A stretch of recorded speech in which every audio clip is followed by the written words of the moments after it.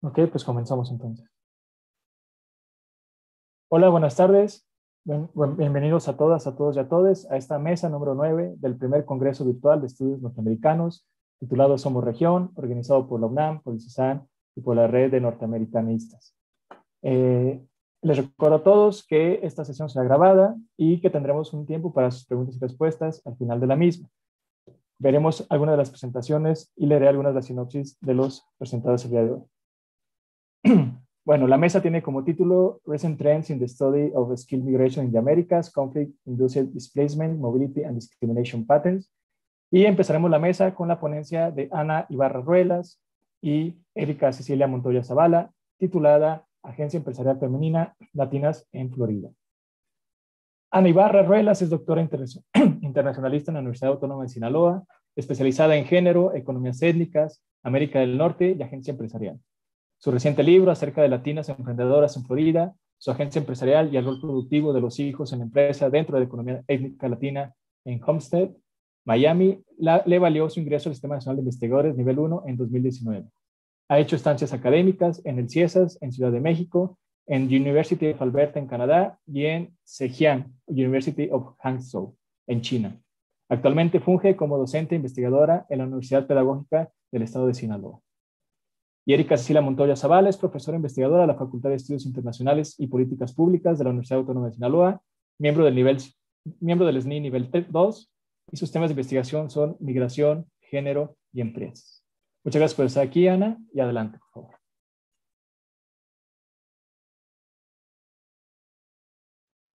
Hola, hola a todos. Eh, mucho gusto a los que están presentes y a los que nos están viendo y los que nos verán posteriormente.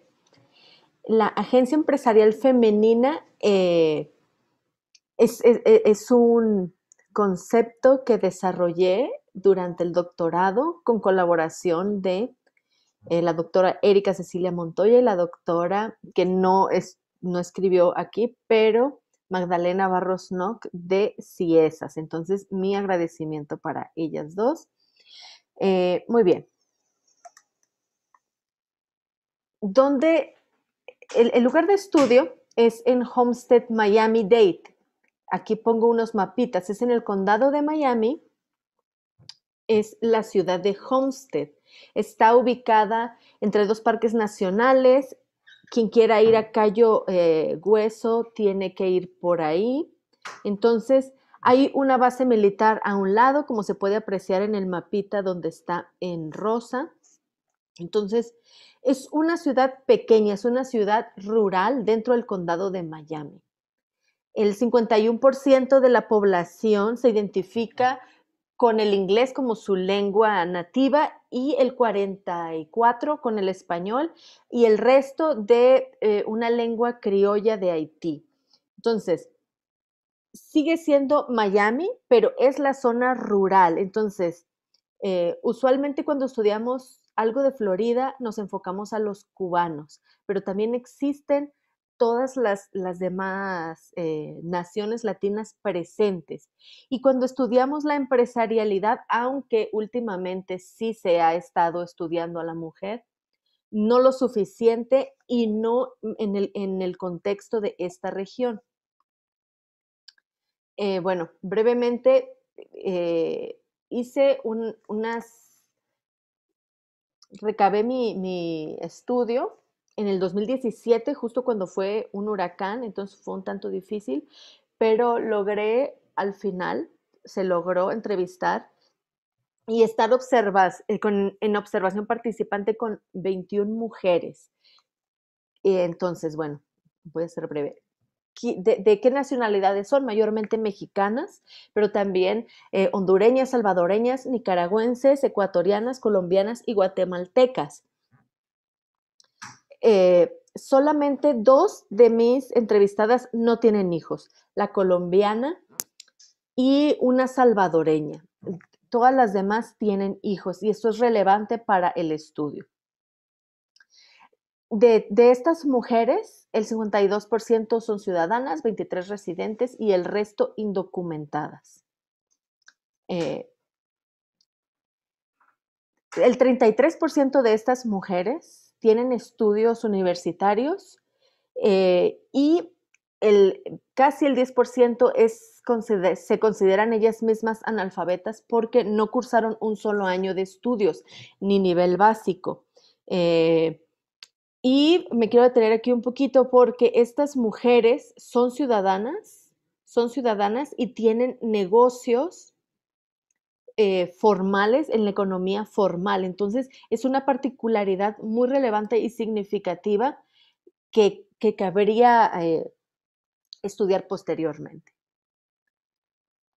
el 57% de estas mujeres dicen que no hablan inglés y el, el resto que sí lo hablan una de ellas dijo que no lo hablaba, pero sí lo habla, pero como es analfabeta, ella considera que eso significa que no. Como no lo sabe escribir ni en español ni en inglés, ella considera si no, no hablo inglés, pero al escucharla hablar y atender a sus clientes, hablaba mucho mejor inglés que personas que tienen eh, estudios universitarios. Y esto es porque ella vive en Estados Unidos desde que estaba chiquita, simplemente no fue a la escuela pero ella creció allá. Pero al no saber leer y escribir, ella piensa que tampoco el inglés. El estado civil de estas mujeres que entrevisté, eh, pues,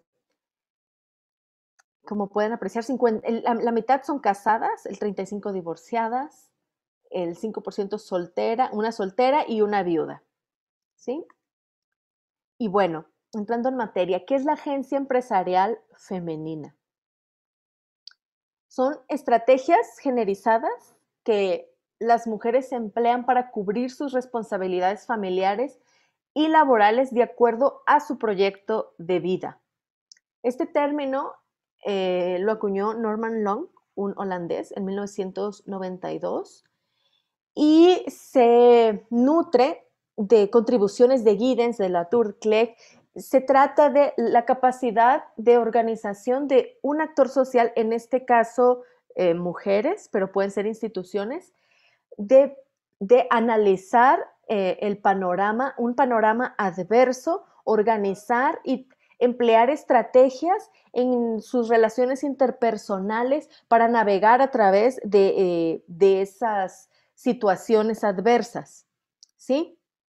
Entonces, eh, la agencia empresarial femenina eh, eh, es empresarial porque son las que usan las mujeres dentro de su negocio, de su emprendimiento, de su empresa, y femenina porque después de revisar literatura, casos de estudio en distintas partes del mundo, se, se debe resaltar que la manera de hacer negocios de las mujeres es distinta de los hombres. ¿Sí? Y usualmente se mide igual. A hombres y a mujeres se les mide igual cuando emprenden algo, a la hora de hacer negocios. Eh, está documentado que el emprendedor en la cultura occidental es ese héroe, salvador de la economía, con ciertas características, características que pertenecen al hombre blanco occidental que no tiene que hacerse cargo eh, de labores del hogar. Entonces, una mujer latina difícilmente va a llenar eh, satisfactoriamente esas, esas medidas. Entonces se considera y se contrasta que una mujer latina no tiene éxito comparado con un hombre blanco, el gringo, está, estamos hablando de Estados Unidos. Ahora bien, esto es injusto y no es preciso y va en contra de la ciencia porque estamos midiendo ahora sí que casi manzanas con piñas, porque una cosa es una mujer latina y otra cosa es un hombre eh, blanco, etc. Entonces, eh, eh, en, estando ahí en campo, bueno, nos dimos cuenta que primero hay que averiguar cómo miden estas mujeres el éxito empresarial. ¿Cómo lo miden ellas? ¿Cuál es el proyecto que estas mujeres, de, vida que tienen estas mujeres, que está ligado a la agencia? Porque en la agencia es todas las estrategias que utilizamos para incorporar a otros en nuestros proyectos. ¿Sí? ¿Cómo los convencemos? ¿Qué usamos? No es poder de convencimiento. Ahorita vamos a analizar siete estrategias generizadas que identificamos entre estas mujeres.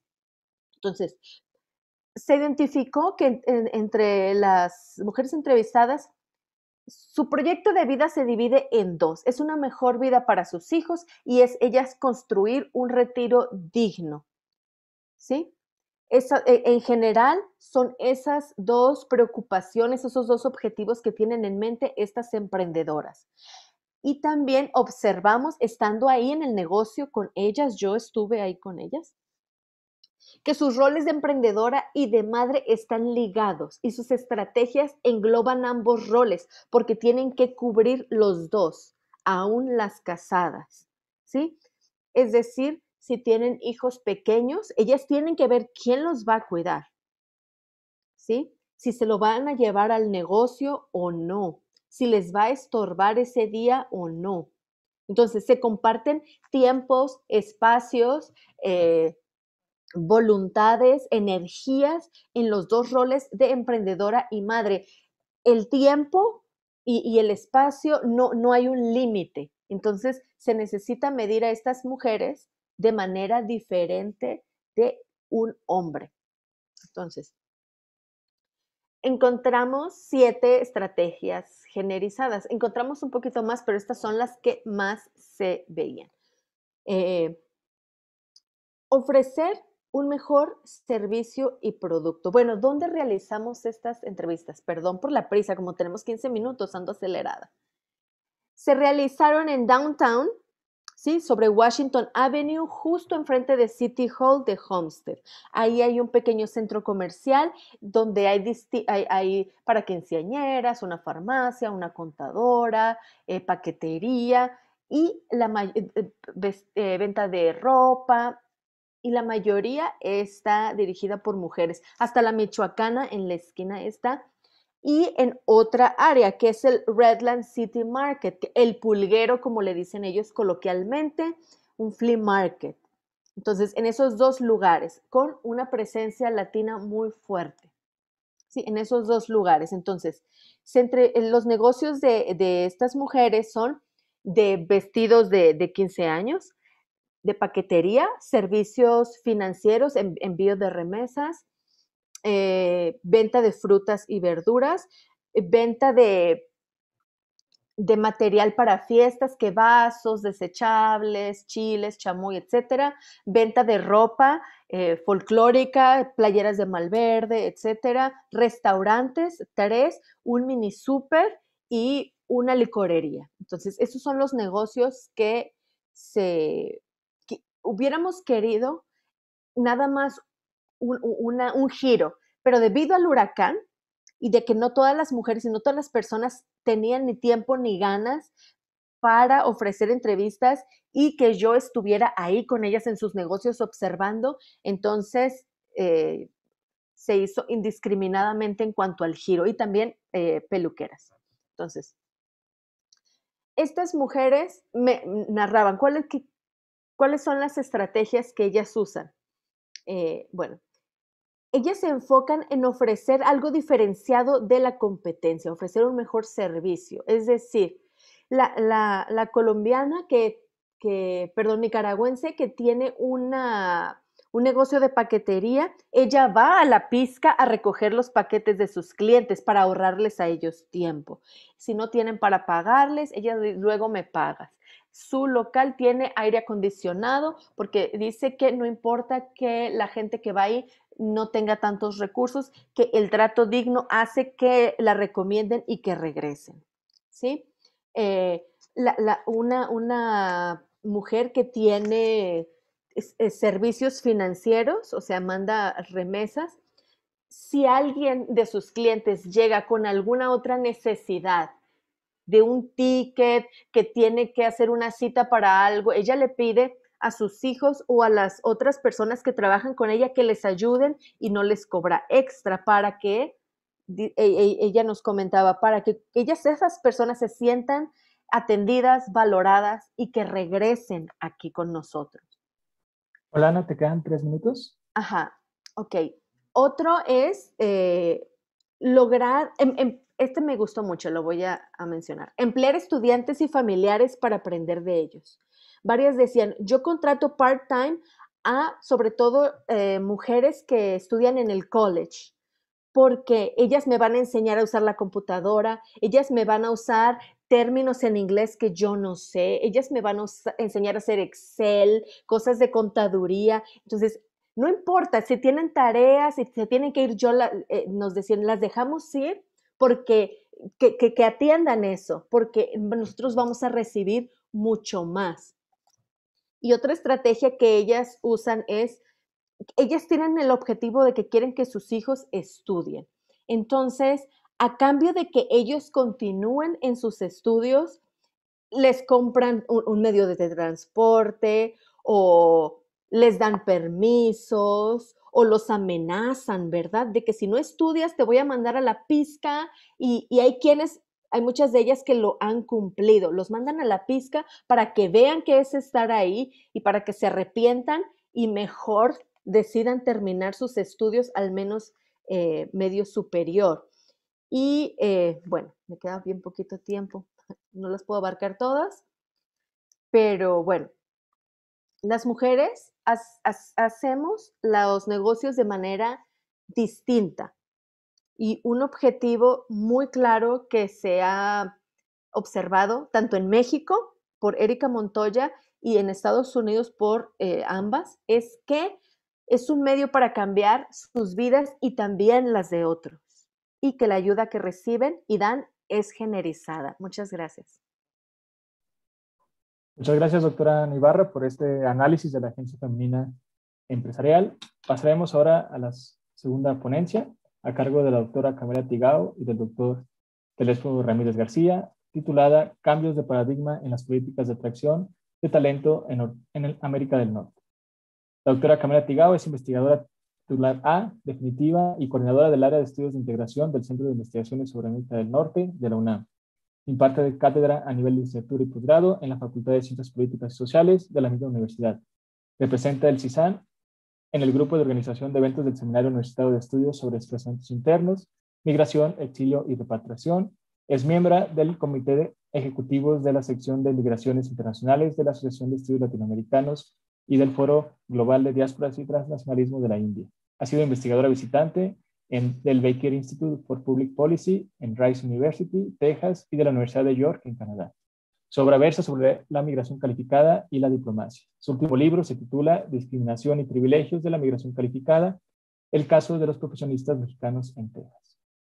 El doctor Telésforo Ramírez García es doctor en estudios de población por el Colegio de México y maestro en demografía por el Colegio de la Frontera Norte.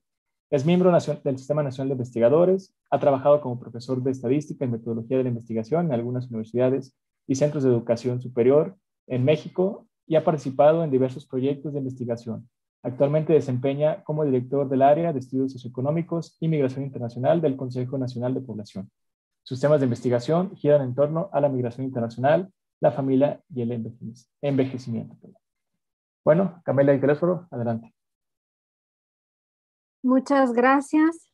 Em, hoy por cuestión de tiempo voy a exponer solo yo, pero está aquí Telésforo para responder las preguntas difíciles que vayan a tener al final, y además yo también. Eh, esta em, ponencia es eh, realmente resultado de un capítulo que propusimos hace dos años cuando empezó la idea del Congreso y que en aquel momento era un estudio muy actual y en ciernes y hoy ya se publicó, entonces pueden leer um, este trabajo ya en un libro que además está disponible en línea, así que voy a ser muy breve. Em, nuestro trabajo es comparativo con el objetivo de comparar las políticas y cómo se ha tratado la migración calificada eh, durante este periodo que podemos llamar populista en Norteamérica, em, cómo se ha cuestionado este tipo de migración y cuáles han sido los cambios. Si recuerdan, recuerdan hace dos, tres años cuando todavía estaba Trump, em, pues ha habido muchas críticas en Estados Unidos hacia todo tipo de migrantes y nos llamó la atención, por ejemplo, el caso de un hindú que se llama Vikram Radnekar, que decidió después de ocho años de estar en Silicon Valley que iba a cambiar la jugada, como él lo decía, y eh, emigró o reemigró a Canadá. Y la razón por la que lo hizo fue que eh, no se le renovó la visa o que se dio cuenta también que tenía que esperar unos 20 años para tener la visa en Estados Unidos, la residencia y, si alguna vez eh, fuera el caso, la ciudadanía. Ay, aquí. Bueno, entonces la estructura del, eh, del capítulo retoma este cambio que es inédito en la historia de la migración calificada, siendo Norteamérica una región tan importante en el mundo. Después em, hacemos una breve discusión teórica sobre el populismo y el impacto que tuvo en la política de la migración, sobre todo calificada, y em, un estudio de caso es la tercera parte, que es eh, la comparación entre Estados Unidos, Canadá y México. Em, también eh, abro un paréntesis para agradecer a Karime Barón que está aquí con nosotros y que nos ayudó a hacer esta bellísima presentación. Bueno, en em, cierto momento, cuando estaba más fuerte la discusión antes de COVID sobre la migración calificada, se hablaba eh, en varios foros, entre ellos el Foro Económico Mundial, de cómo Estados Unidos estaba perdiendo en la competencia mundial por talento y que em, Norteamérica en general, pues aunque había sido una región que superaba a las otras, competía en este mercado mundial de talento con Europa, pues ahora estaba perdiendo. ¿Y en qué sentido? Bueno, el Foro Mundial medía esta capacidad de, atraer, retener, hacer crecer el talento a través de cuatro indicadores. Y el primero sería em, eh, la capacidad de habilitar el talento, es decir, um, qué tanto se les podía dar visas. Y por ejemplo, en ese sentido, pues Estados Unidos quedaba rezagado porque em, hubo todo un cuestionamiento a las visas H1B en Estados Unidos. Y en este sentido, esta nueva clasificación del Foro Mundial de 2019 pues situaba a Suiza, Singapur o Reino Unido por encima del poder de atracción y retención de talento eh, de Estados Unidos. Em, obviamente en el estudio eh, se hace eh, también una ah, recopilación de todo lo, cómo ha sido tratado el tema en los medios. No me voy a detener aquí en la parte metodológica porque lo pueden consultar. Em, consideramos que esto, este cambio podría ser em, tomado como un cambio de paradigma, dado que en la historia de Estados Unidos pues siempre ha habido una tendencia a atraer talento, aunque menos de sus migrantes son calificados en general. Hay más migrantes por proporción a Canadá que en Estados Unidos. Lo que estaba tratando de imponer Trump, y hasta cierto punto hasta lo logró, era que, eh, que cambien los, em, porcentajes de migración familiar a favor de más migración laboral. Si, um, si antes era más migración familiar, esta tendencia, eh, digamos, em, humanista de la política migratoria en Estados Unidos, pues Trump estaba pensando en cambiarla para acercarse más hacia el tipo de política mm, selectiva de Canadá. Em, aquí pasamos luego a los, a, los estudios de caso, es un estudio de caso comparativo. Eh, lo que vimos en el caso de Estados Unidos es que esta política de restricción de visas tuvo un impacto directo, por ejemplo, en el aumento de rechazos de visas de H1B nuevas y renovaciones. Este, em, estos rechazos pasaron, por ejemplo, de 13% en 2017 a, 18% en 2018. y así fueron aumentando. Em, y esto se ha considerado en los medios como una política antitalento, de forma que muchos estaban cuestionando si esta era una estrategia buena a largo plazo para Estados Unidos. Y también se observó que la pérdida de Estados Unidos era una ganancia de Canadá en el sentido de que muchos individuos, por ejemplo los indios que fueron los más afectados por el discurso y la acción de las visas H1B, pues se iban a otras partes, entre ellos Canadá.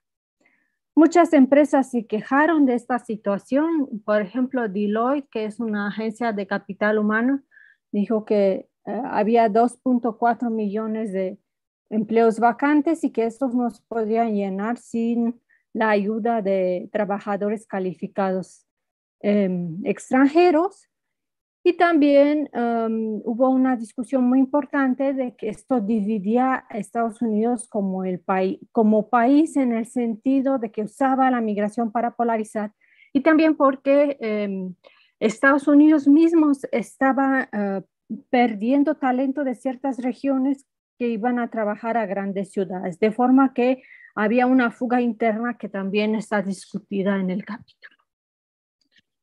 Al mismo tiempo, en Canadá tenemos una política muy diferente, que es la política del multiculturalismo, mm, que nosotros no idealizamos, pero sí pensamos que fue una manera más favorable de, recibir a los migrantes. Eh, de forma que en Canadá para el mismo periodo aumentó el número de trabajadores calificados, aumentó el número de, de estudiantes internacionales, se crearon muchos empleos, ha habido eh, empresas que eh, em, pues multiplicaron sus em, ingresos 200% por la creación de estos nuevos empleos. Y en México la discusión fue completamente diferente porque eh, tenemos, eh, si acaso, em, esta discusión del populismo eh, de izquierda, que sería algo muy diferente del populismo como lo, lo han teorizado en Estados Unidos. aquí la discusión no es sobre la recepción de más migrantes calificados porque pues, ya sabemos que aquí menos del 1% de la población es migrante, sino la, todo el cuestionamiento giró alrededor del debate de la corrupción, de que tanto tenían que disminuir las, los sueldos para austeridad. Y entonces ha habido muchos artículos Em, que se quejaban de que, por ejemplo, em, funcionarios, burócratas muy especializados tenían que migrar porque aquí ya no tenían uh, sus puestos de trabajo y iban a ganar muy poquito. De forma que para resumir el debate en México, eh, diríamos que eh, fue más un cuestionamiento hacia las élites en general hacia la decisión de eh, bajar los sueldos de trabajadores de gobierno, de mm, cómo afectó esto a trabajadores de Banco de México, Pemex. Um, y pues esto tuvo uh, cobertura muy diferente a nivel nacional e internacional, um, en el marco en, el que también la migración de Centroamérica estaba aumentando. Em, no sé, em, solo voy a poner un ejemplo más antes de concluir. Por ejemplo, este periodista muy importante, Zuckerman, decía que em, si el gobierno eh, de AMLO eh, seguía nombrando gente eh, que no tenía el perfil para ciertos puestos, recuerdan ustedes el nombramiento de esta diseñadora de moda en CONACYT para un puesto de biotecnología, pues que eso iba a llevar a un fracaso porque em, se necesitaba gente especializada para puestos de alto nivel. Bueno, ¿qué concluimos? Que hubo uh, consecuencias uh, muy importante y benéficas para, para Canadá ah, de esta American First trumpista, que eh, efectivamente los migrantes calificados, ah, incluso antes de COVID, se estaban planteando buscar ah, lugares más amigables, que el rechazo a las élites internas provoca fuga interna y desigualdad. Em, y en general vemos que hay un enfrentamiento muy fuerte, difícil de reconciliar entre los planteamientos estos antielitistas del populismo versus eh, cómo funciona la economía del conocimiento. También observamos que hay una fuga, eh, eh, un desperdicio interno que es previo al desperdicio internacional y que era observado en Estados Unidos en trabajos mediáticos y académicos. Y bueno, aquí lo dejo porque somos cinco y no vamos a tener mucho tiempo para discutir. Eh, este es el libro en donde aparece el capítulo y si alguien lo quiere se los podemos enviar. Una vez más le agradecemos a Karime y los invitamos a leer el capítulo. Gracias. Muchas gracias, doctora Camelia y teléfono por la presentación. A continuación pasamos con la ponencia de la doctora Elizabeth Salamanca Pacheco, titulada Perfil de la Migración Empresarial de México hacia Estados Unidos. Elizabeth Salamanca es doctora en Ciencias Sociales y Económicas por la Johannes Kepler Universität Linz en Austria. Ah, tiene un, una, un MBA conferido conjuntamente por la Universidad Comercial de Deusto en Bilbao, la Escuela Superior de Comercio de Dantes, Francia, y la Universidad de Bradford en Inglaterra. Es miembro del Sistema Nacional de Investigadores. Es profesora de tiempo completo de la Escuela de Negocios y Economía de la ULAB sus áreas de investigación son la migración calificada y los vacíos institucionales de los mercados emergentes latinoamericanos. En verano de 2015 y 2016 fue visiting, visiting Scholars en el Mexico Center del Banker Institute for Public Policy en Rice University y actualmente es Non-Resident Scholar en, en el Baker Institute.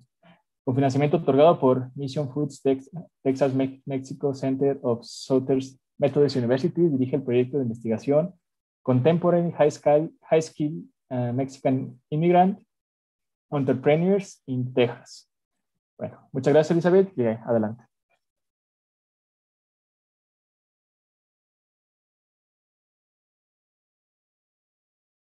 Creo que estás, tu micrófono está silenciado, Elizabeth.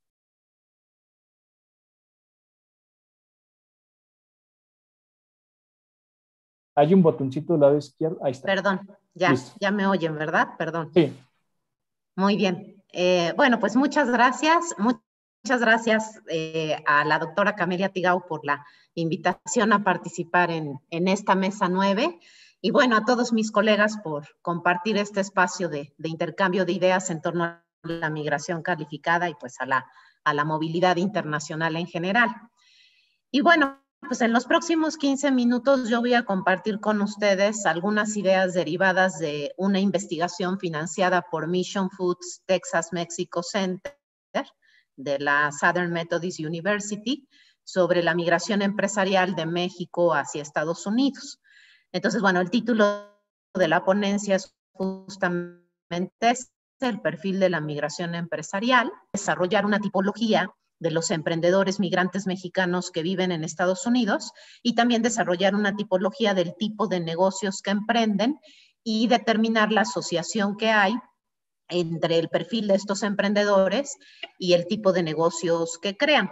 Bueno, las palabras clave que están relacionadas con, con esta presentación son las que aparecen acá, eh, lo que es migración empresarial, migración altamente calificada, desafíos institucionales y eh, como marco teórico el enfoque de incrustación mixta o eh, lo que normalmente en inglés conocemos como el, Mix Embeddedness eh, Approach.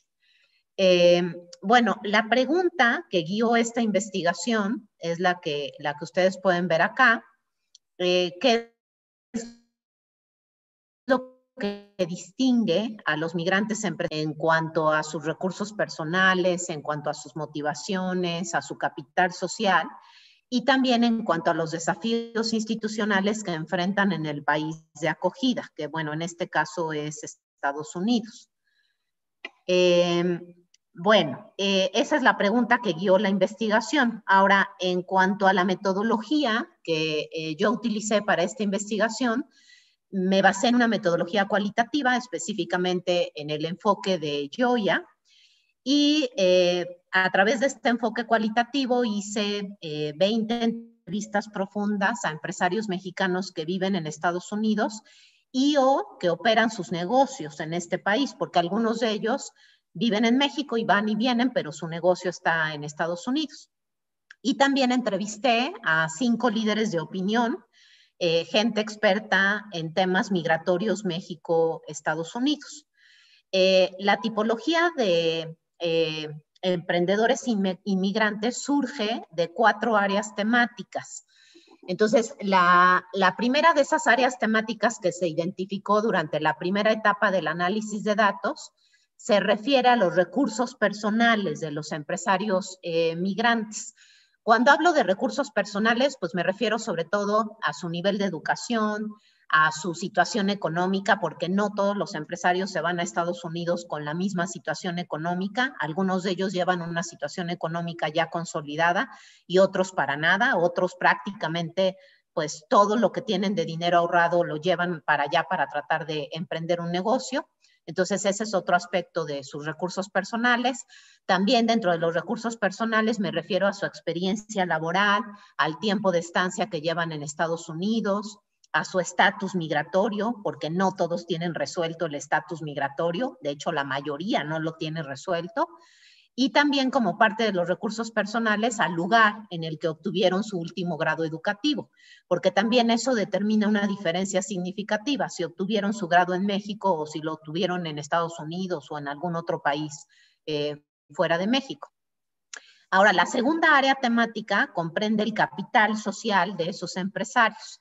Y acá con el capital social, pues me refiero sobre todo a su pertenencia, por ejemplo, a redes coétnicas o su pertenencia a redes hispanas o su pertenencia a las denominadas redes principales que, en inglés se les denomina mainstream eh, networks.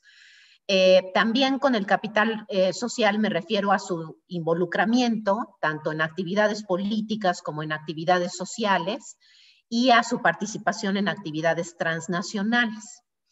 Eh, la tercera área temática se refiere a las motivaciones de los empresarios, que pueden ser motivaciones tanto positivas como motivaciones, por, por decirlo de alguna manera, negativas vinculadas al país de origen.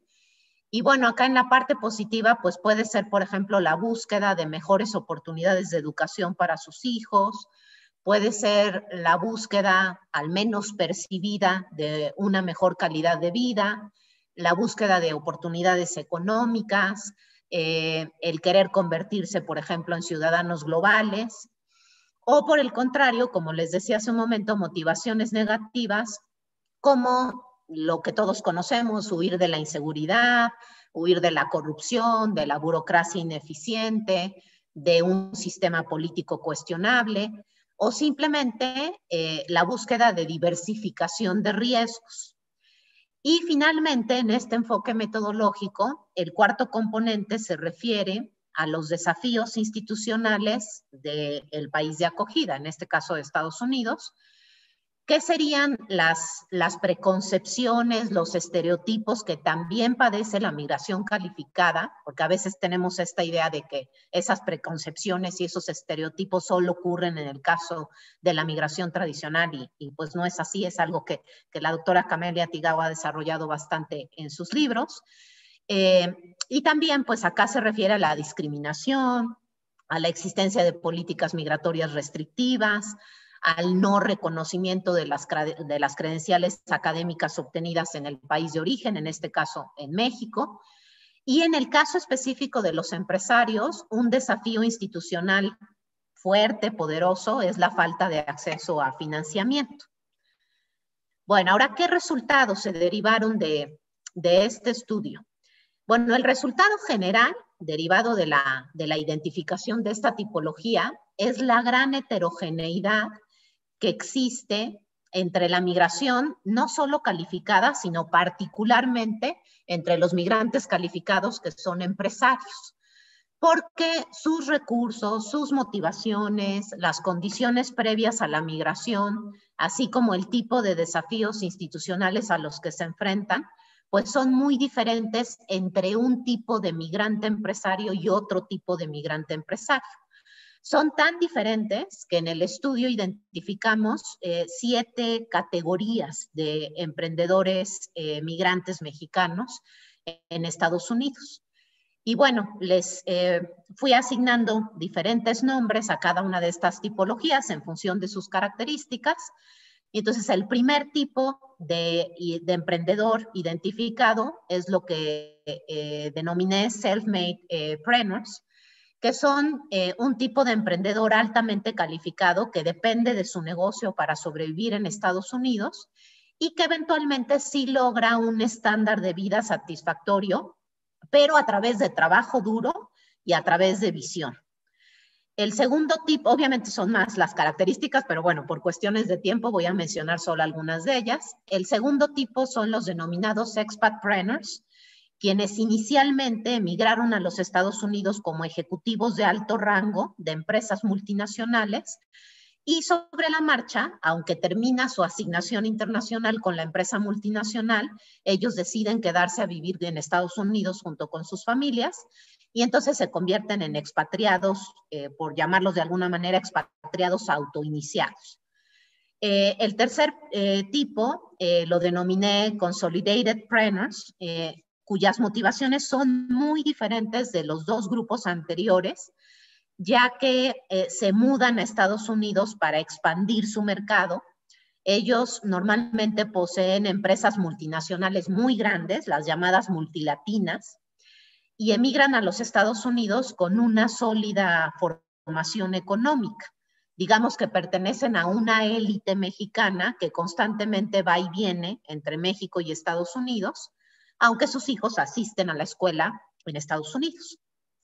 El cuarto tipo es un grupo muy interesante, es un grupo de empresarios relativamente reciente, pero que está teniendo un crecimiento exponencial y que son los denominados, o bueno, así, así los llamé, stubborn millennials, migran a Estados Unidos para competir en la, en la economía del conocimiento y para obtener capital, sobre todo capital financiero, pero también capital en materia social, network, eh, para su negocio.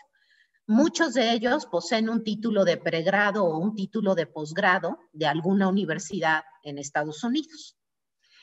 El quinto tipo son los denominados runaway preneurs, eh, que son aquellos empresarios que en México han sido blanco de grupos criminales.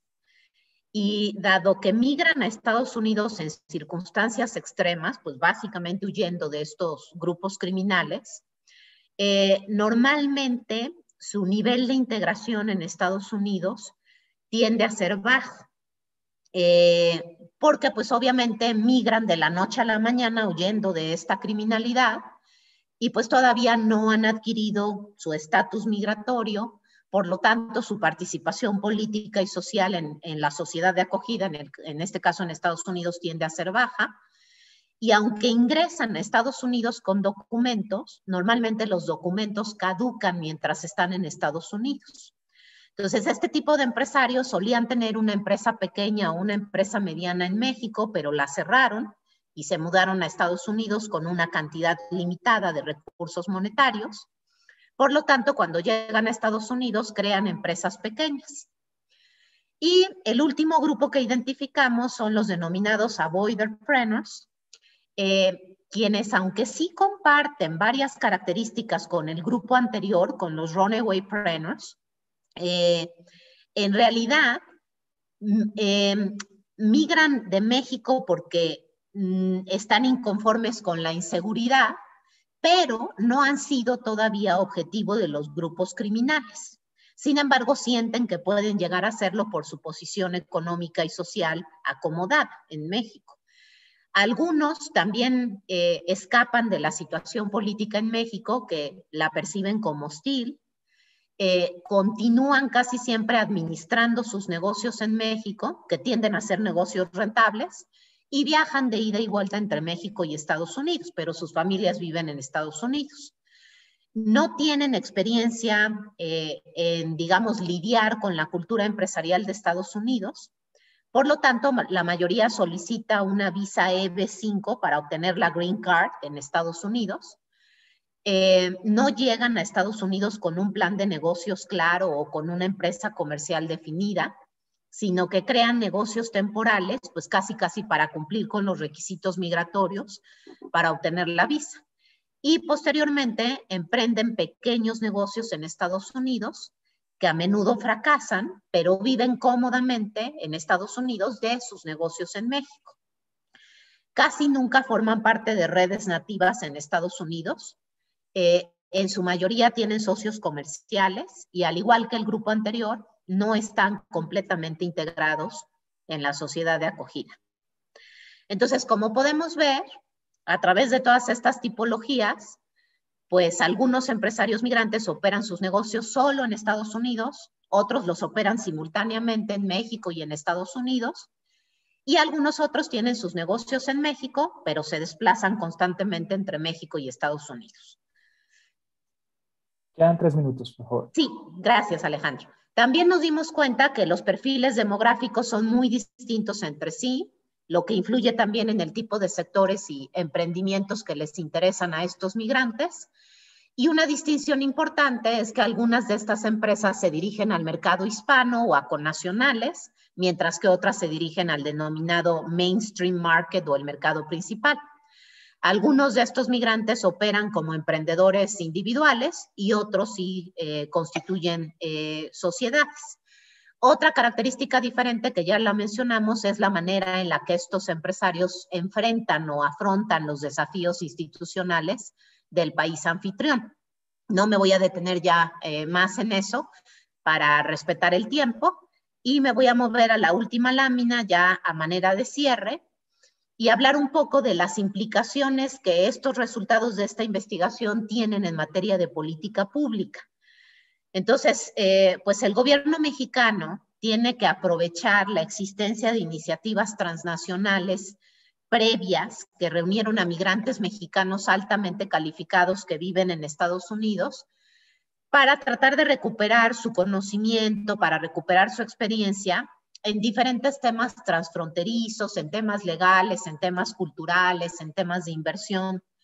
Es evidente que los empresarios migrantes mexicanos realmente tienen un fuerte y un, deseo genuino de mantener vínculos con su país de origen, con México, no solo a un nivel nostálgico, sino también a un nivel mucho más pragmático, a un nivel mucho más concreto, contribuyendo a implementar iniciativas sociales y económicas muy específicas. Por ejemplo, educación en áreas vulnerables, transferencia de tecnología y mejores prácticas a micro y a empresas pequeñas que operan en México, participación en alianzas público-privadas. Eh, a pesar de que las medidas de austeridad eh, del gobierno actual pues son medidas de austeridad duras, fuertes, eh, es posible, es posible mantener e incluso mejorar los vínculos con la diáspora empresarial en Estados Unidos a través de la participación conjunta de líderes empresariales, de líderes de opinión y de representantes del gobierno mexicano en Estados Unidos, los transnacionales que sean viables y sobre todo que determinen cómo implementar esos proyectos. Eh, y bueno, pues eh, yo aquí cierro. Eh, les agradezco mucho su, su atención. muchas gracias. Muchas gracias, doctora Elizabeth.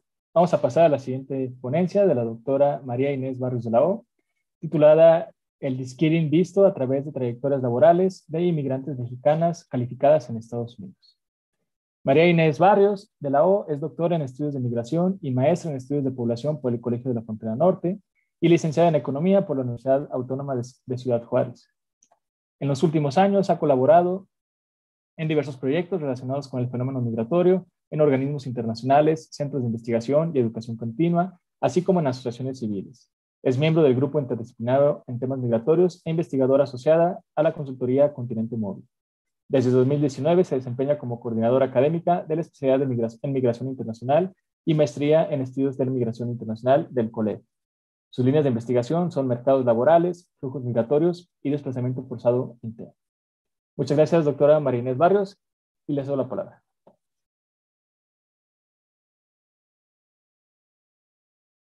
¿Sí me escucha? Sí, adelante. Ah, ok, perfecto. Muchas gracias este, por el espacio. Y bueno, antes que nada también eh, agradecer, este, porque esta es la primera vez que voy a presentar eh, de manera pública algunos de los resultados de mi tesis doctoral. Este, y también muy contenta porque justo en esta mesa, pues dos de los participantes fueron miembros de mi comité de tesis, el doctor Telésforo y la doctora Camelia Tigao. Entonces, pues me da mucho gusto compartir con ellos esta mesa. Y bueno, como ya mencionaron, eh, el título de esta ponencia es el de skilling, visto a través de las trayectorias laborales de inmigrantes mexicanas calificadas en Estados Unidos.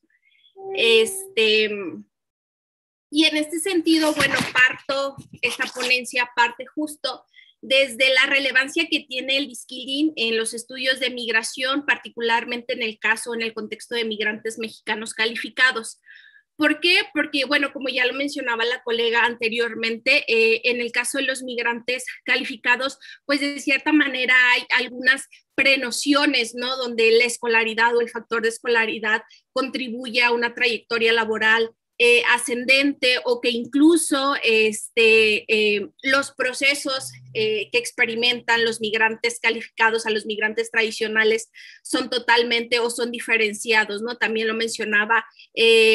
Cornelius o FAIS, donde la migración calificada, pues de cierta manera ha cambiado, este, considerando a estos migrantes eh, de pasar de una estrategia de tarjeta roja a una alfombra roja, ¿no? Donde de cierta manera se considera que tienen algunos privilegios, particularmente la obtención de algún tipo de visa, o que están exentos a experimentar eh, aspectos de xenofobia, discriminación o insertarse en mercados laborales, este, pues no acordes a su formación, ¿no?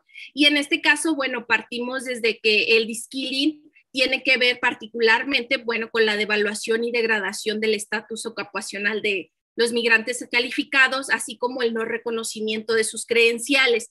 Y esto tiene que ver con que esta devaluación y degradación, particularmente en las ocupaciones este, laborales de los migrantes calificados no solo es relacionado eh, aspectos eh, propios del mercado laboral, ¿no? sino que existen otras formas este, de un no reconocimiento de sus credenciales, además de otros factores o determinantes que influyen a que los migrantes se sitúen en, en skilling o en ocupaciones no acorde a su formación educativa y que esto tiene que ver con factores como origen étnico, estatus migratorio, género, lo cual refuerza de cierta manera una segregación eh, laboral.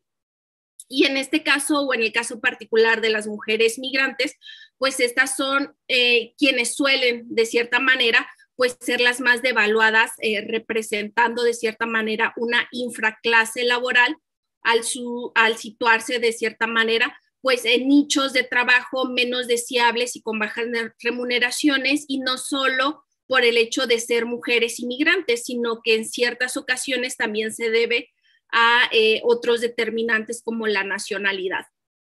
Y en este contexto, pues se han desarrollado un sinfín de investigaciones al respecto, donde se analiza el papel de estas mujeres migrantes calificadas en condición de skilling en diferentes mercados laborales de las sociedades de destino. Y bueno, bajo este marco, el objetivo de esta ponencia justo es analizar esta situación de skilling de inmigrantes mexicanas calificadas, pero a través de trayectorias laborales o desde un enfoque metodológico más cualitativo.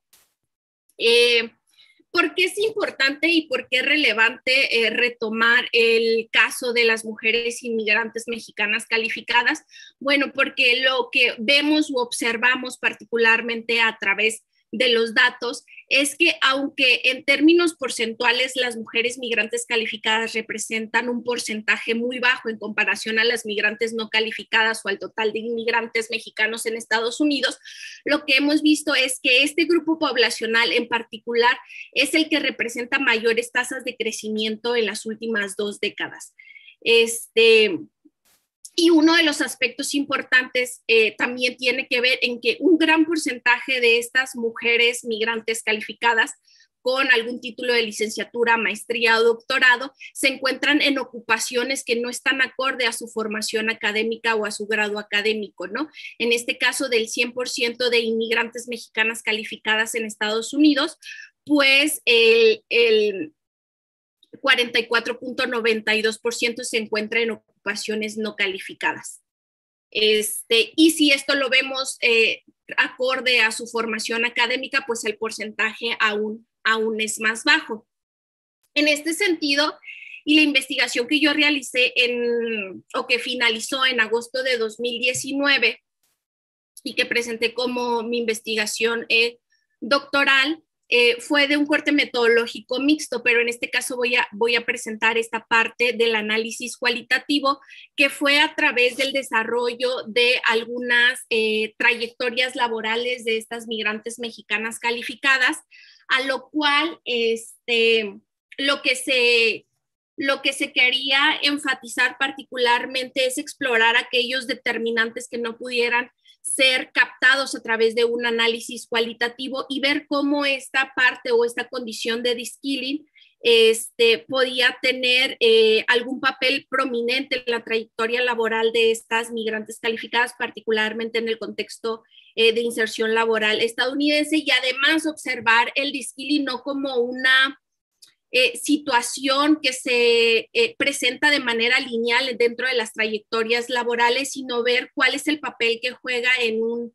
contexto o en un análisis más de corte longitudinal. Y en este caso, bueno, como les mencionaba, se hizo uso de las trayectorias como una herramienta metodológica analítica y de esta manera, pues, dar cuenta de forma sistemática cómo es que las inmigrantes han ido adaptando, cambiando o transformando su experiencia laboral, particularmente o en este caso en Estados Unidos. Y para esto eh, se eh, elaboraron 28 eh, entrevistas con mujeres en diferentes partes de Estados Unidos, particularmente estas entrevistas se generaron entre el último trimestre de 2018 y el primer trimestre de 2019.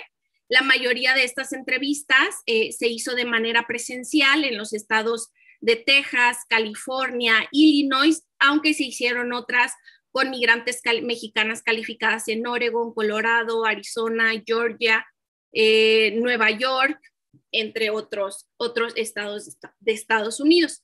Algunos de los aspectos o características de, estas mujeres migrantes mexicanas que fueron entrevistadas, bueno, es que el rango de edad de ellas se situaba entre 26 y 63 años.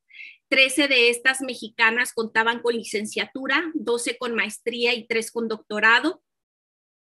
13 de las inmigrantes poseían alguna formación en disciplinas relacionadas a las ciencias sociales, seis a las ciencias administrativas, cuatro en ciencias de la salud o bioquímicas, dos en humanidades y artes, dos más en una formación de tecnología e ingeniería y una en ciencias jurídicas.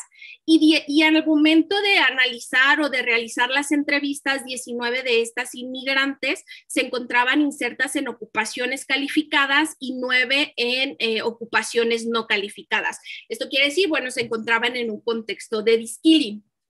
Ahora, a partir de estas entrevistas, lo que se buscaba era identificar o eh, dar prioridad en analizar en qué momento de su trayectoria laboral en Estados Unidos se situaban en skilling, es decir, en una ocupación no correspondiente a su formación eh, académica o grado o grado académico. Y en este caso se identificaron cuatro, a partir de, la elaboración y de tener o poner un énfasis de atención particular en las trayectorias laborales, se identificaron cuatro tipos de, de trayectorias donde se situaba en donde se situaba el skilling de estas migrantes mexicanas calificadas.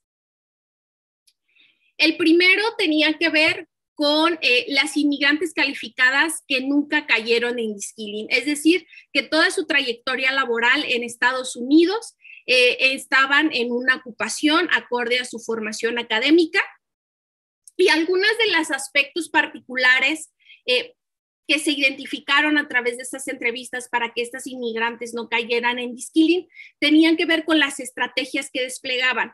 Una era que eh, la mayoría de estas personas su último grado académico lo cursó en Estados Unidos. Esto como una estrategia que tiene que ver, uno, con el prestigio institucional de la institución educativa que le iba a permitir acceder a un mercado laboral acorde a su formación. Otro, que durante el tiempo de formación no solamente estaba la parte del prestigio de la institución, sino les permitía conocer cuál era la dinámica del mercado laboral, generar redes eh, profesionales de apoyo para poderse posteriormente insertar al mercado laboral. De esta manera, pues estaban generando estrategias que les permitieran eh, de manera eh, pronta, es decir, eh, estarse en un trabajo acorde a su formación académica y no posicionarse en un contexto de skilling. Aunque en tres eh, de estas migrantes que se identificaron que nunca cayeron en skilling, también tienen que ver en que muchas de ellas se fueron con su pareja, también migrante calificado, y esto de cierta manera pues les permitía este, no eh, acceder inmediatamente al mercado laboral al momento de la migración hacia Estados Unidos, ¿no? Eh, y entonces muchas de ellas no aceptaban trabajos que no estuvieran acorde a su formación, a su formación académica. Ahora, eh, el segundo tipo eh, de trayectorias fueron las inmigrantes que permanecieron siempre en Disquilin. Bueno, un aspecto que se me olvidó eh, o que se me pasó señalar del primer tipo de trayectorias de estas migrantes que nunca cayeron en Disquilin, también tiene que ver que fueron migrantes en donde hubo menos rotación ocupacional, es decir, permanecían más tiempo dentro de sus ocupaciones a comparación a las otras migrantes. Eh, el segundo tipo de trayectorias que se identificó a partir de esta investigación fueron las inmigrantes que siempre permanecieron en skilling, es decir, nunca han tenido un empleo eh, que esté acorde a su formación académica.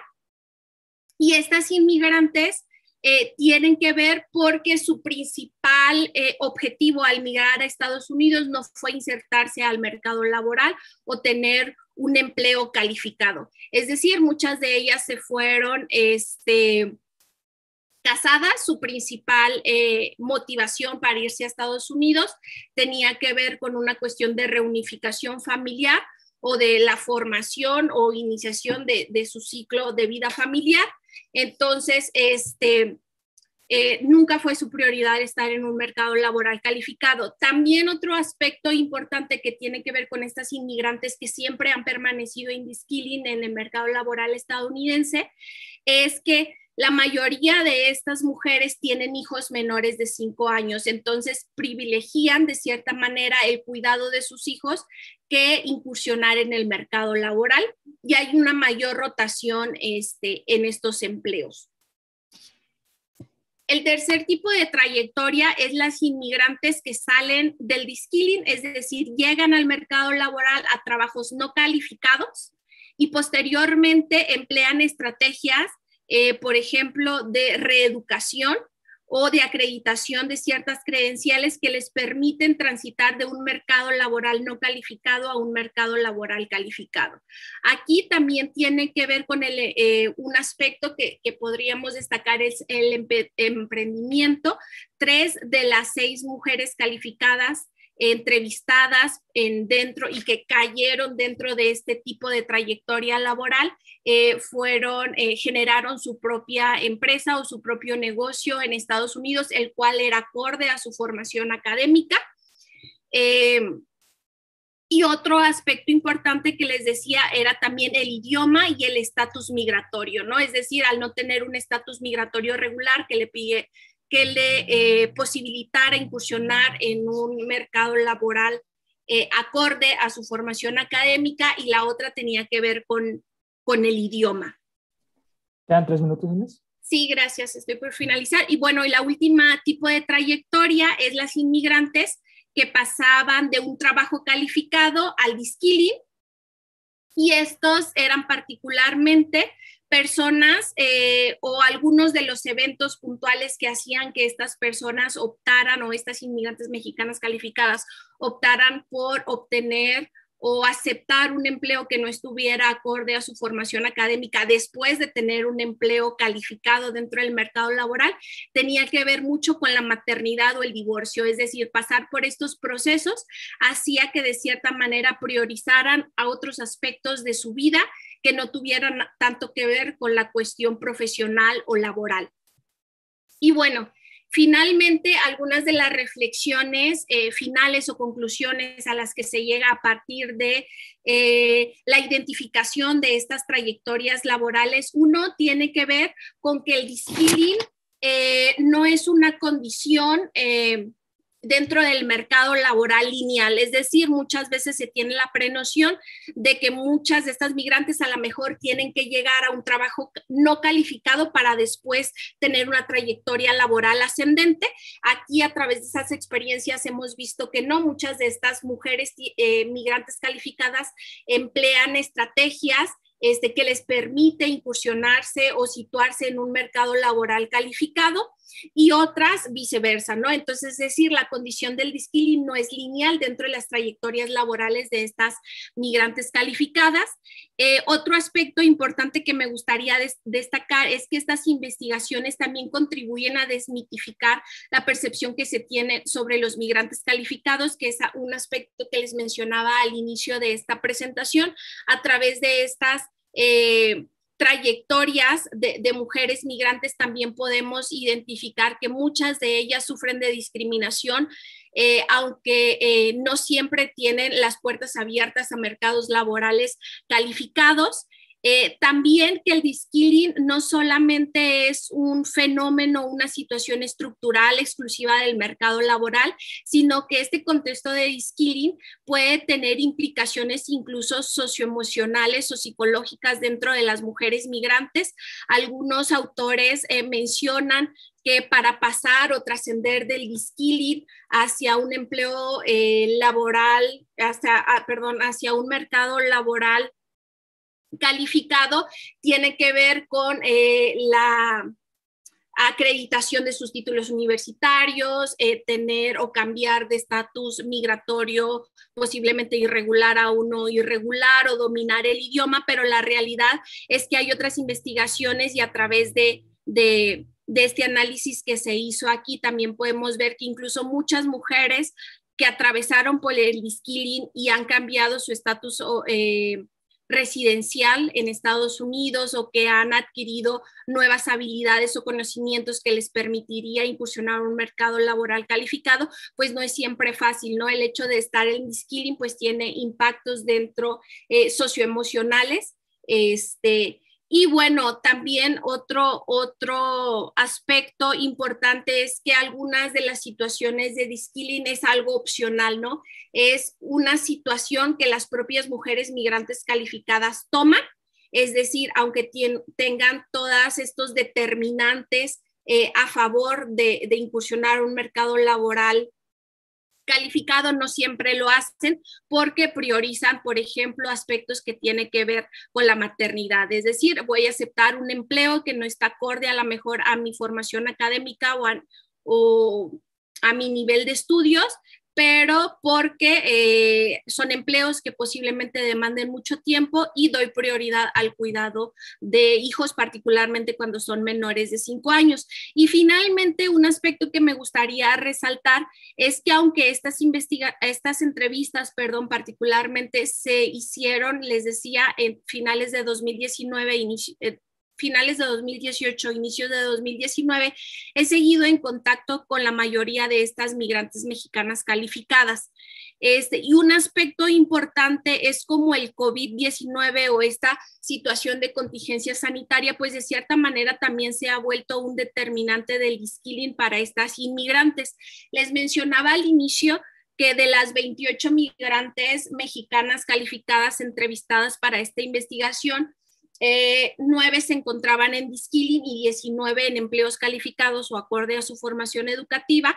En el último eh, trimestre que se les entrevistó de las, eh, 28, 17 estaban en un contexto de diskilling, particularmente aquellas eh, mujeres emprendedoras que son las que se situaban en la tipología o en la trayectoria laboral tipo C.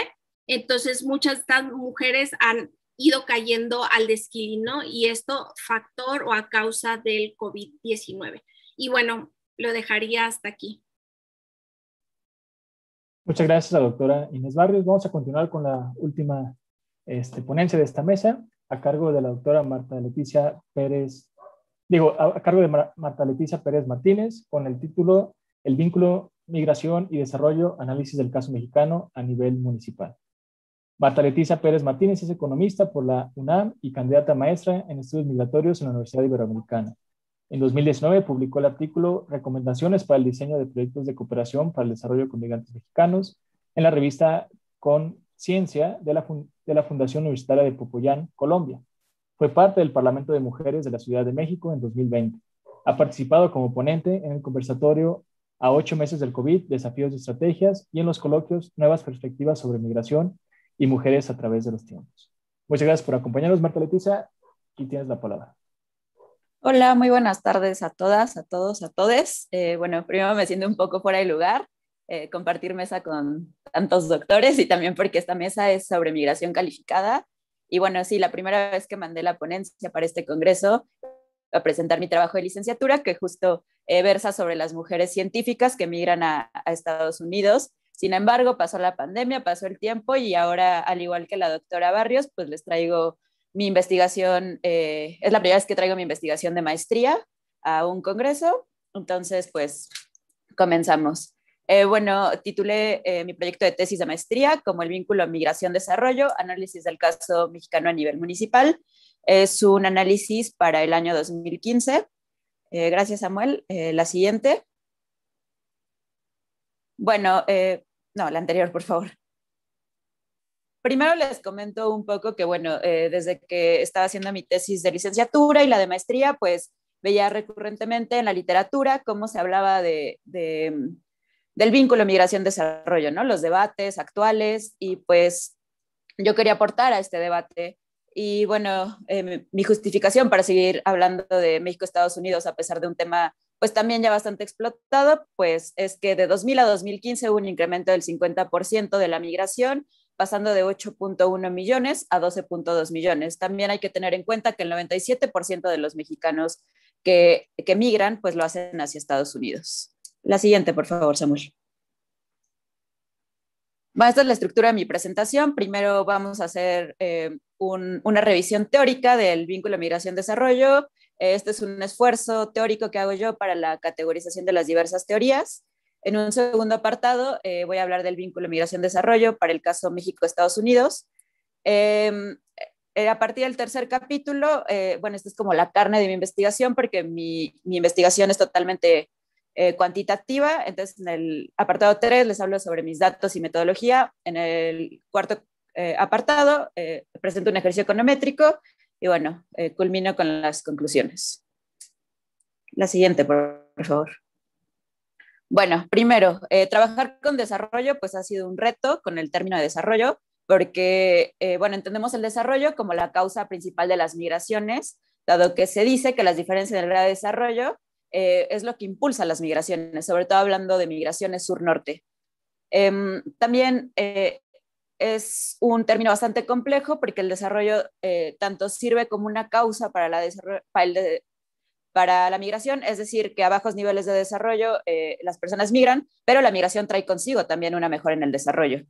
Em, bueno, para romper un poco con la subjetividad del término, eh, usé una definición de, Gilbert Rist, em, el cual dice que es el proceso que permite a los seres humanos aprovechar sus potenciales, reforzar su autoestima, llevar vidas dignas y significativas, librarse del miedo y la explotación. Bueno, pues esto es totalmente subjetivo, entonces eh, pensé en cómo hacerlo cuantitativo y para ello me basé en el índice de desarrollo humano, que es un indicador que incluye una serie de, medidas y variables que, que nos ayudan a determinar el grado de desarrollo de un país.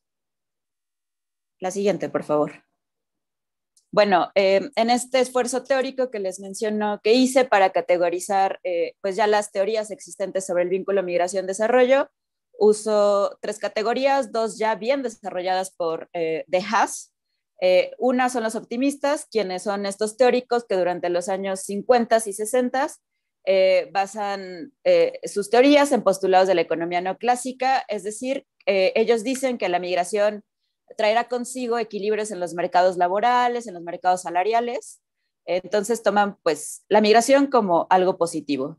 Em, también eh, ellos eh, hacen un estudio de las migraciones del sur al norte. Eh, poco hay acerca de las migraciones norte-sur, sur-sur o norte-norte. Em, estos teóricos llegan a varios consensos en los efectos del país receptor y ellos dicen que pues sí, es bueno que, que se migre a, al país de destino es bueno para el desarrollo del país de destino. Sin embargo, Appleyard y Carling em, hablan también de las remesas, que es un tema también bastante recurrente cuando se habla del vínculo migración-desarrollo. Y ellos dicen que, las remesas eh, van, a, van a fungir como una fuente de desarrollo em, para, para el país de origen. Asimismo, eh, dicen que a largo plazo eh, las remesas enviadas van a detener eh, las migraciones porque pues las familias de, los migrantes, las que se quedan, ya no van a tener la necesidad de emigrar dado que ya tienen un nivel económico alto.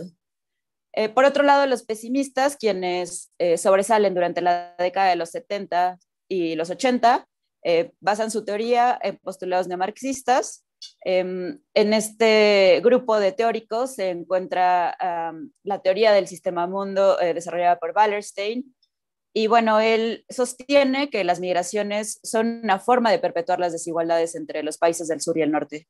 Eh, también dentro de este grupo está la teoría de los mercados duales, eh, la cual nos dice que los mercados laborales son diferenciados y estos serán más bondadosos con los con las personas nativas, con los trabajadores nativos y con los migrantes eh, habrá cierta discriminación, peores tratos eh, laborales, peores salarios. Eh, bueno, la siguiente, por favor. Por último, propongo una categoría, la cual es el pluralismo. Em, esta trae consigo temas em, contemporáneos, por ejemplo, el codesarrollo, que es algo que ha partido, que ha partido de de las esfuerzos institucionales por no solo hablar de, de desarrollo en el país de origen o en el de destino, sino eh, hablar de un trabajo en conjunto entre los países eh, que comparten pues, una tradición migratoria. Aquí también se inserta la teoría del transnacionalismo que rompe con el nacionalismo metodológico, que es algo común entre los, entre los optimistas y los pesimistas. Em, también aquí se adhiere la, teoría institucional, la cual eh, pues menciona que al final las instituciones serán las encargadas de gestionar la migración, dejando de lado pues ya razones como las diferencias en el desarrollo entre países.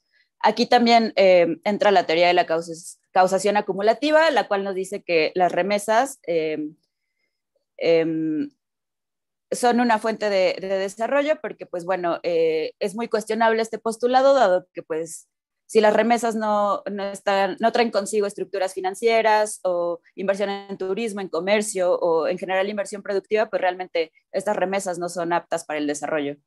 Em, también aquí entra la cuestión de los sistemas migratorios, la cual pues es como la que mejor cubre el caso mexicano, porque pues se habla de teoría de redes eh, y de realidad histórica y sociales. Por ejemplo, pues la posición geográfica de México, la tradición migrante que hay en algunos pueblos, que ya eh, se desapega mucho de lo económico, eh, de lo laboral, eh, depende más de, pues sí, de una, de una cultura de migración en, los pueblos, sobre todo entre los hombres de, ciertas poblaciones rurales. La siguiente, por favor. Bueno, em, ¿qué pasa con el vínculo migración-desarrollo en el caso de México y Estados Unidos? Pues como les comento, este vínculo eh, parte pues de lo geográfico, que son territorios vecinos, pero con grados de desarrollo desiguales. Eh, también recae en esta cuestión social que, les menciono, que hay una tradición migrante.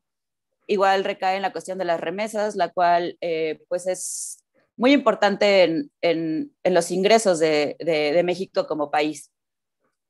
Em, también eh, es importante señalar que los efectos de las migraciones en el desarrollo del país de origen dependen a su vez del grado de desarrollo original. es decir, eh, bueno, por ejemplo, en esta gráfica vemos cómo los países de desarrollo medio son los que tendrán mayores eh, emigrantes, o sea, expulsarán mayor número de personas. Contrario a lo que se llega a pensar, que son los países con un desarrollo bajo los que más expulsan migrantes. ¿Esto por qué? Porque son los países de desarrollo medio los que tienen ingresos medios que pueden financiar estas migraciones. Eh, de igual forma, vemos como los países con grados de desarrollo muy altos son los mayores receptores de, personas eh, migrantes. La siguiente, por favor. Bueno, eh, esta es la carnita de, mi tesis.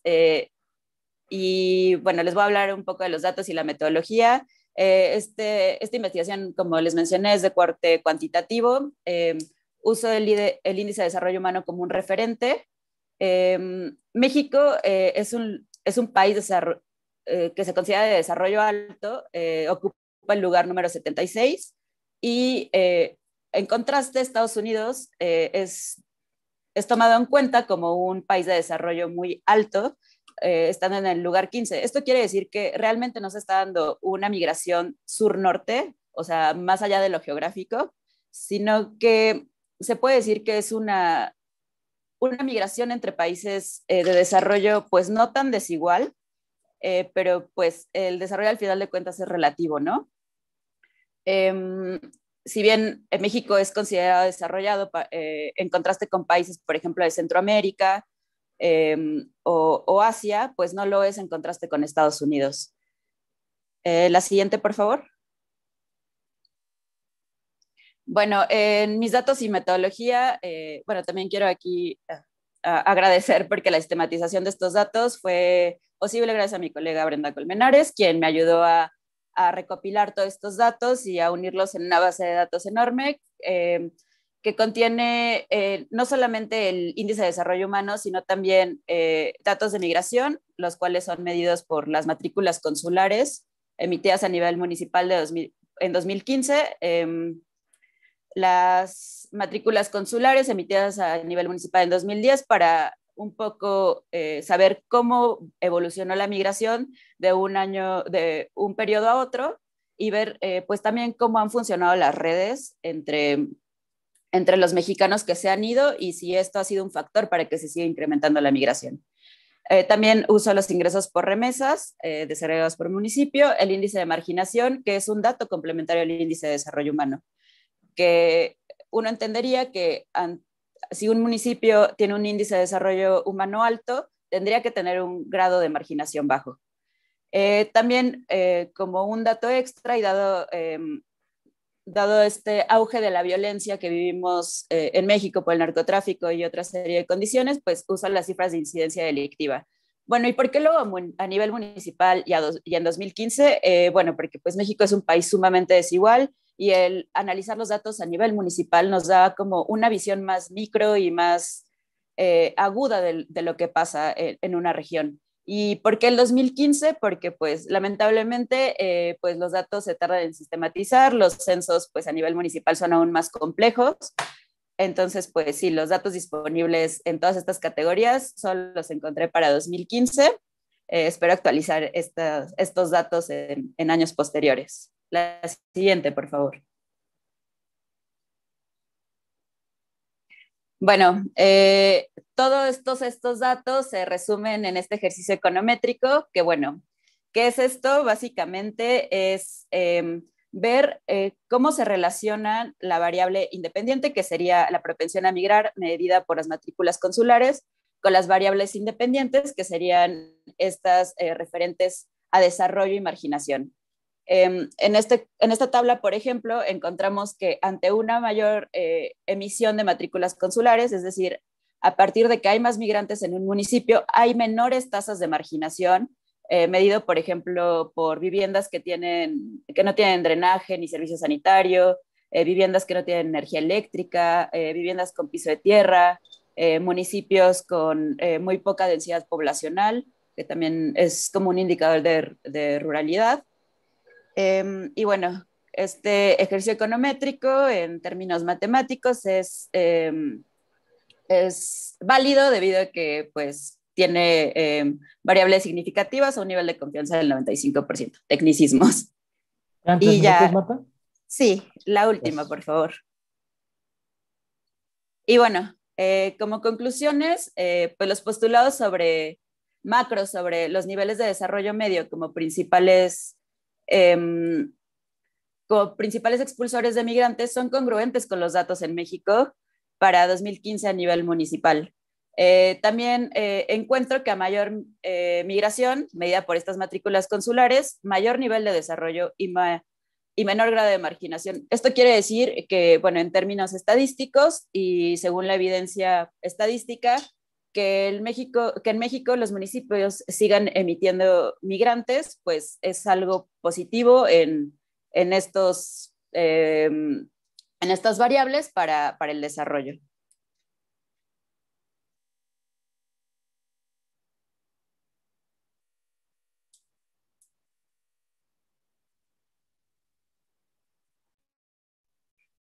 Muchas gracias, este, Marta Lisa, por tu presentación.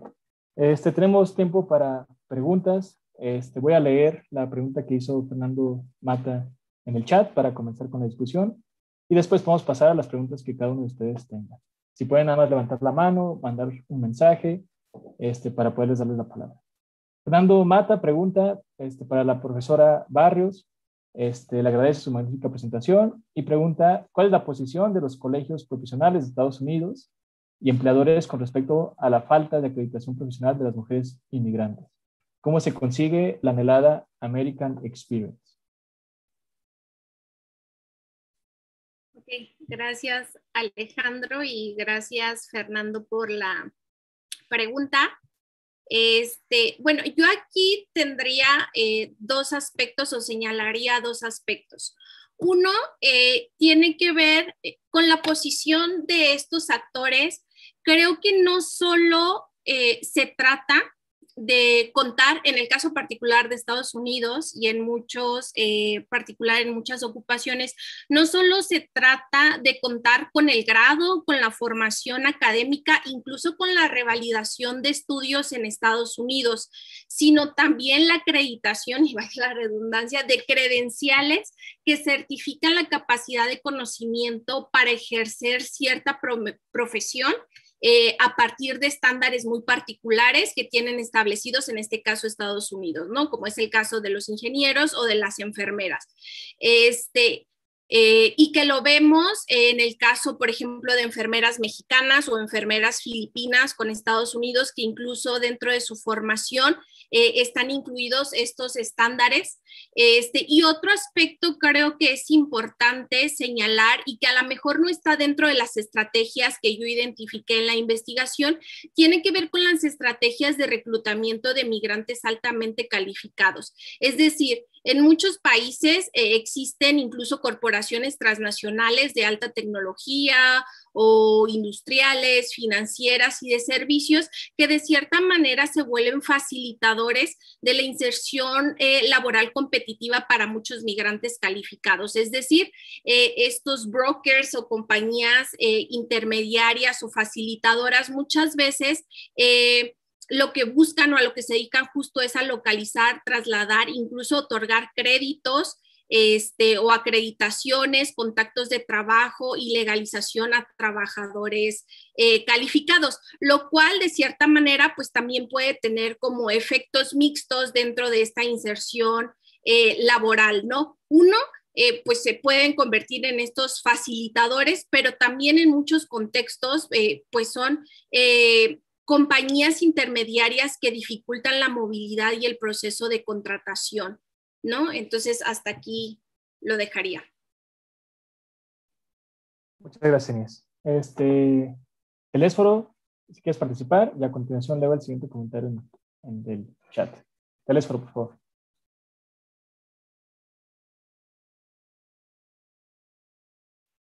Creo que su conexión está fallando.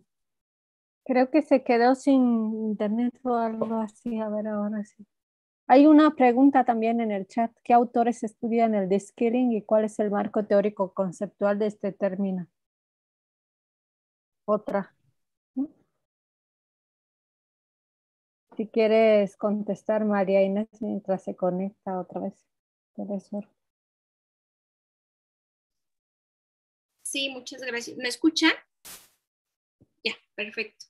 Este, bueno, dentro para el diskilling hay un eh, cúmulo de investigaciones, particularmente desde la década de los 90, que estudia la migración eh, calificada, va desde este concepto o aspecto de fuga de fuga de cerebros que ha ido cambiando a través del tiempo y que le ha permitido, pues de cierta manera, la inclusión de, del skilling como una de estas, de estas categorías y también algunas de las teorías. Eh, de teorías neoclásicas eh, o clásicas de, de, los estudios de migración, por ejemplo, la teoría de mercados, del mercado segmentado o eh, de Pior, esto también podría, podría ayudar. Muchas gracias. ¿Alguien más tiene alguna pregunta, comentario? Yo tengo uno para la investigación de Elizabeth, quizás, y es para que pensemos entre todos. Yo recuerdo que había como un ir y venir entre las principales causas de emigración de los empresarios, que eran en un momento la violencia, luego cambió a corrupción y luego otra vez la violencia.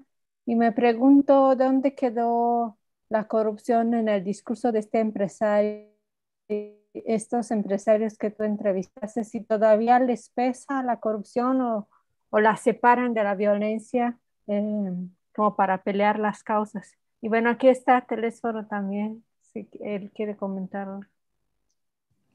Bueno, eh, yo primeramente quiero felicitarlas a todas. Eh, creo que han presentado trabajos muy, muy interesantes sobre migración y desarrollo y, bueno, la mayoría sobre migración calificada, en especial sobre las mujeres, ¿no? Desde la perspectiva de la migración femenina calificada.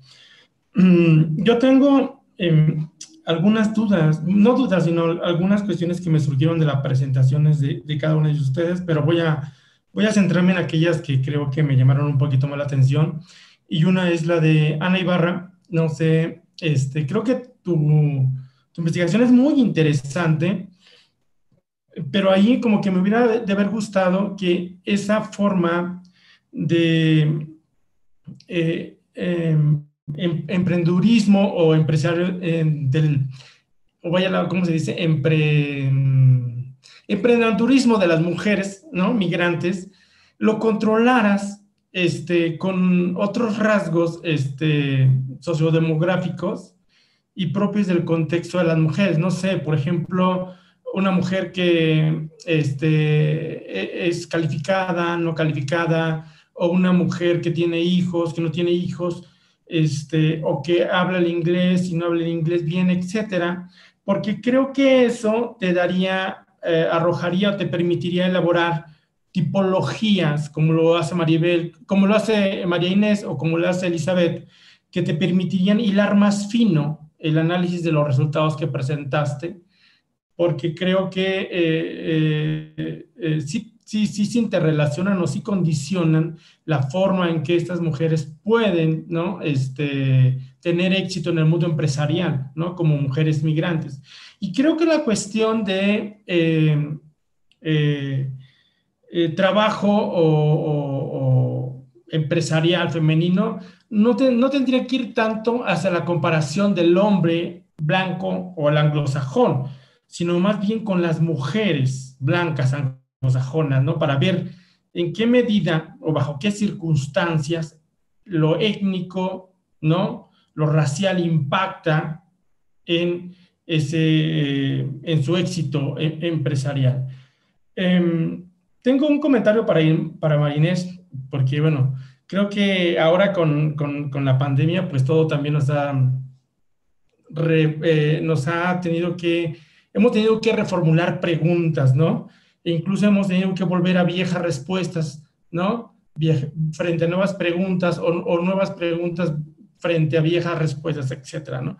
Y yo creo, Marines, que una pregunta muy interesante eh, desde la perspectiva que tú estás analizando, el de skilling, sería enfocarte, por ejemplo, en el grupo de eh, profesionales de la salud, ¿no? Este, en cómo la pandemia pudo, haber, haberse convertido en un detonador, ¿no? O en un factor que sacó a este grupo poblacional del deskilling.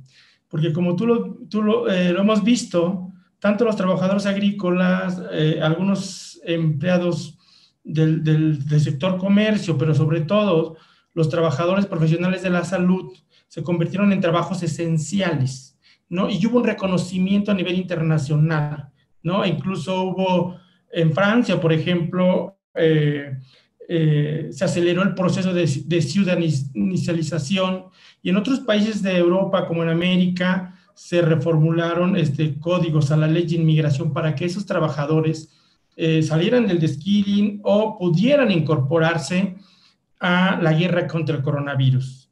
Aquí la pregunta que queda latente es todavía si esto es, va a ser algo temporal o va a ser algo permanente, ese impacto. Entonces, por ahí me gustaría un poquito que reflexionaras. Y bueno, eh, un poquito ya final, eh, rapidito, porque sé que tenemos poco tiempo en cuanto a nuestra, a nuestra presentación. Yo creo que eh, esta pandemia también, ¿no? Viene un poquito a hacer contrapeso a este, a este eh, discurso populista, ¿no? Eh, que se venía eh, manejando, por ejemplo, en Estados Unidos, ¿no? El mismo propio Donald Trump ¿no? Durante la pandemia, los meses más duros de la pandemia en Estados Unidos, tuvo que salir a decir que necesitaba que los inmigrantes que ya estaban en Estados Unidos o que estaban en proceso de, eh, eh, eh, de obtener un permiso, una visa para trabajar o estudiar, en estudiar en Estados Unidos, o etcétera, pues se unieron a la, a, a la, lucha contra el coronavirus. Entonces hubo como un retroceso en ese discurso populista, ¿no? Que se manejaba en contra de los inmigrantes. Y, y, y este, y no solamente en México, ¿eh? como les comento, eh, eh, hice una revisión con el doctor Fernando Lozano para un artículo que, que, que escribimos sobre los trabajadores de la salud en la época de la pandemia. Y en esta revisión vimos cómo en muchos países del mundo hubo este, este cambio de discurso este, eh, ¿no? en el cual muchos países tenían este, la bandera de, del populismo en contra de los inmigrantes o a favor de los inmigrantes, etcétera, ¿no? Este, como una estrategia política, ¿no? Entonces, este, creo que en este caso pasó, ¿no? Entonces, por ejemplo, México, México recibió este, médicos cubanos, ¿no? Eh, Camelia, ahí los, los señalamos en, en, también en un artículo que escribimos con Camelia, pero, por ejemplo, en el caso de México, algo que, que bien señala Camila del artículo que escribimos, es que México nunca, eh, o incluso muchos países de América Latina, no tuvieron un acercamiento con la diáspora calificada residente en el, residente en el exterior, es decir, con estos profesionistas de la salud, ¿no? Por ejemplo, el caso eh, como lo tuvo Argentina, que Argentina se invitó y repatrió a sus médicos y especialistas para que se unieran a la lucha del coronavirus, del coronavirus en, en, Argentina, ¿no? Y muchos aceptaron, pero la mayoría tuvo que hacer cambios a sus reglamentos y estatutos migratorios para reclutar a los que ya vivían ahí en sus países o incluso atraer de otros países. Entonces, como que eso también hizo un contrapeso en, en el discurso eh, populista, ¿no? En el caso de México, también otra cuestión relevante fue, por ejemplo, la incorporación o el apoyo que el sector eh, privado en salud eh, hizo a la lucha con la pandemia en, en nuestro país. Bueno, eso sería brevemente eh, mi, mis comentarios y nuevamente felicitar a todos por sus excelentes presentaciones. Muchas gracias, Telesforo. Si gustan, le damos primero la palabra a la doctora Elizabeth para responder a la pregunta de Camelia, a continuación a Ana y luego a Inés para responder las preguntas de Telesforo. Adelante, Elizabeth. Sí, muchas gracias Alejandro y gracias a, a, Camelia por la pregunta. Sí, la verdad es que fue algo que a mí me sorprendió cuando hice las entrevistas. Sí, yo pensé que el elemento recurrente, el elemento negativo del país de origen, en este caso de México, como factor de empuje iba a ser la inseguridad. Y sí, sí lo es, pero sí me llamó mucho la atención que además de la inseguridad, sí mencionaban de manera frecuente los empresarios el tema de la corrupción. Y lo que me llamó la atención es que lo mencionaban desde dos aspectos. La corrupción como un elemento visto desde un enfoque muy pragmático que puede afectar la rentabilidad del negocio, ¿no? Este, si hay corrupción entre intermediarios, si obtienes los insumos más caros, si tienes que dar mordidas, si tienes que entrarle al tema de los sobornos, pues eso hace que tus niveles de rentabilidad sean menores.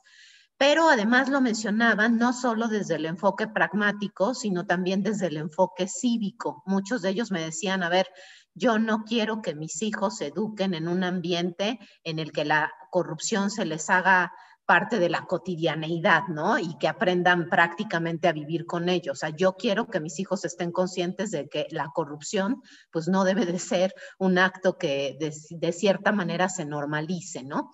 Y vinculado a la corrupción, casi siempre mencionaban la burocracia la burocracia ineficiente, ¿no? Porque, a ver, la burocracia pues tiene que existir, hasta cierto punto es necesaria, pero cuando se convierte eh, en una situación de ineficiencia, pues esa burocracia está muy vinculada con temas de corrupción y nuevamente pues una burocracia excesiva entorpece las operaciones de cualquier negocio y sobre la marcha pues también disminuye el nivel de rentabilidad de los negocios, ¿no?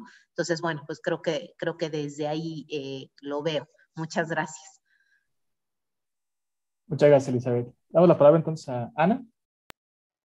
Sí, muchas gracias por los comentarios y todas las presentaciones me parecieron muy interesantes. Felicidades. Eh, bueno, número uno, yo no estudio la migración calificada. yo no estudio la migración calificada y sí di respuestas, pero en mi tesis de doctorado a lo que Telesforo apunta y sí, como dice Zulema Valdés, eh, todos tenemos una ubicación social en el mercado laboral de acuerdo a las categorías a las que pertenecemos. Eh, género, raza, nacionalidad, estudios. Entonces, cuando se interseccionalizan esas categorías, nos da una ubicación en el mercado laboral. Lo que yo estudié, eh, lo que yo analicé a profundidad es, que no lo toqué aquí, es, ¿qué ¿cuáles son los factores que hacen que... Eh, una mujer emprenda en el sector formal o en el sector informal. Yo eso lo estudié y, describí cuatro factores, entre ellos la agencia, que es solo lo que toqué hoy. Otra es la trayectoria laboral familiar, que esa pesa significativamente porque si la mujer tiene a su alrededor o en, su país de origen tradición comercial, en cuanto llega a Estados Unidos va a buscar lo mismo. Y yo encontré que las que tienen estudios universitarios son las que se tardan más años en emprender, porque primero buscan otras cosas y porque dio la casualidad, no estoy diciendo que así sea la regla, pues, en las que yo entrevisté, no había una trayectoria de comercial en, su familia. En cambio, las que tenían menores eh, grados de estudio, analfabetas o eh, siete años nada más de, estudiar, rápidamente emprendían.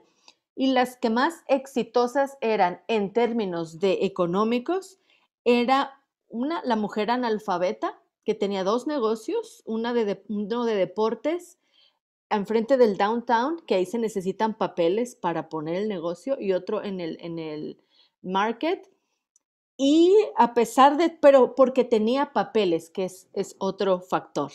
Si, tienes, si eres ciudadana y eres residente, se facilitan las cosas, no nada más por las circunstancias en Estados Unidos, sino por, por, es como mental, porque si no tienen papeles, ellas piensan que no pueden abrir una cuenta de banco cuando no necesitas ser residente ni ciudadana, ¿no? Muchas de esas cositas que no abordé aquí, pero con mucho gusto me gustaría puedo pasarme yo todo el tiempo hablando de eso porque descubrí muchas cosas. También el tiempo de llegada a Estados Unidos por las condiciones a las que llegaron, que, que fomentaron o más bien constriñen la economía y las oportunidades para que las mujeres y los inmigrantes y de acuerdo a la nacionalidad puedan emprender. Son esos factores que sí son muy importantes.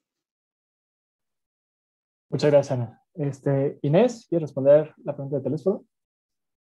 Ah, bueno.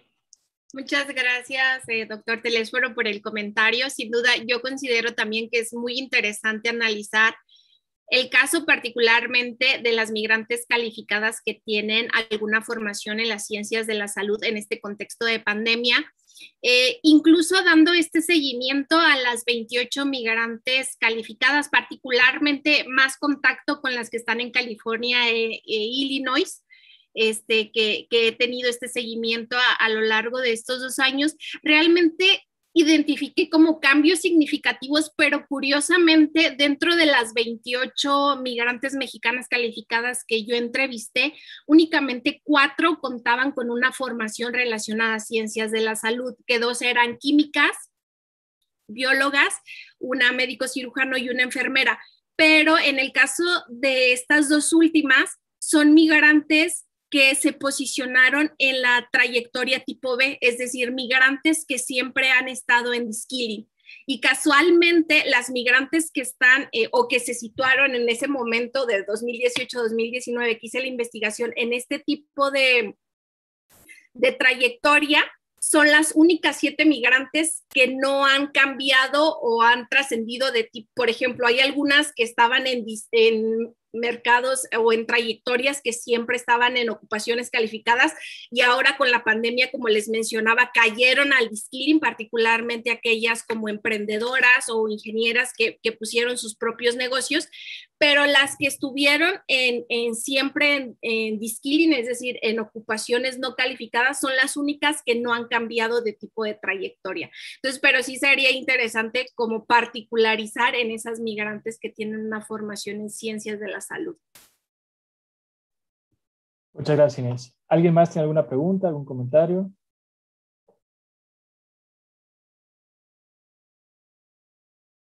Bueno, entonces vamos a dar por terminada. Les recordamos que el día de hoy es el primer día de este primer congreso este, virtual de estudios norteamericanos Somos Región. Los invitamos a seguir participando a lo largo de esta semana en las demás actividades y mesas.